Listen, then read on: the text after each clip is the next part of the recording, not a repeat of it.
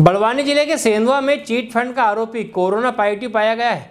Police remand के बाद आरोपी को जेल भेजा गया है। सेंधवा उप जेल एसपी ने कहा, संपर्क में आने वाले सभी लोगों के सैंपल लिए जाएँगे। शहर थाना सेंधवा में चीट फंड के आरोप में एक मुलजिम को रिमांड पर लिया गया था, जिसके बाद उसे सेंधवा उप जेल भेज दिया गया। लेकिन अब आरोपी की रिपोर्ट कोरोना पॉजिटिव आई है, जिससे पुलिस महकमे सहित उप जेल में हड़कम मच गया है।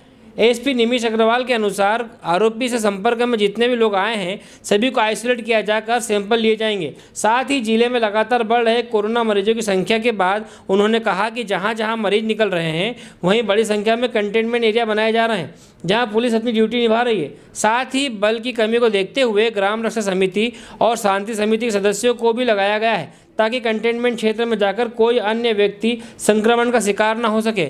बड़वानी से अतुल कुमावत की रिपोर्ट। सर सिंधवा शहर थाने पे एक चिटफंड का आरोपी था सर। कोरोना पॉजिटिव रिपोर्ट आई है सर। एक आरोपी कोरोना पॉजिटिव पाया गया है। वो पुलिस रिमांड में था। उसके बाद जेल दाखिल किया गया कोरोना टेस्ट करने के बाद। तो उसमें पॉजिटिव पाया गया। तो जो भी उसके संपर्क में आए हैं उनके हम टेस्ट करवा रहे हैं। उनको होम आइसोलेशन में कर दिया गया है।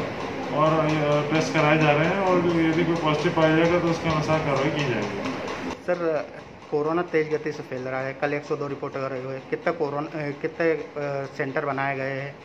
Containment area. 102 केसेस कल आए हैं और कंटेनमेंट जोन लगातार बढ़ रहे हैं और हम उसमें पुलिस बल लगा रहे हैं क्योंकि कंटेनमेंट जोन में जो है वहाँ के जो लोग रहते हैं उनको निकलने की मनाही रहती है।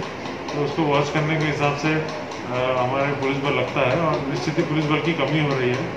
और हम अन्य विभागों का भी इसमें सहयोग ले रहे हैं। कलेक्टर के आदेश से हमें और कोटवार वगैरह हमें मिल रहे हैं तो उनका भी इस्तेमाल कर रहे हैं। रक्षा समितियों को भी सक्रिय किया जा रहा है। हेलो फ्रेंड्स आप देख रहे हैं हमारा channel S W twenty four news हमारे सारे वीडियो सबसे पहले देखने के लिए आप हमारे चैनल को सब्सक्राइब करें और पास में लगे बेल आइकन को दबाना बिल्कुल भी ना भूलें।